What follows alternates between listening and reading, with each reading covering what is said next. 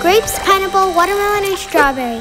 The perfect mix for a cry juice. But the fruit is frozen. Let's see. I'm sure it's not that bad. Uh, we can't make cry juice like this. Oh, oh no! If we can't make cry juice, we'll have to close, close down, down the factory. No, I want to make cry juice.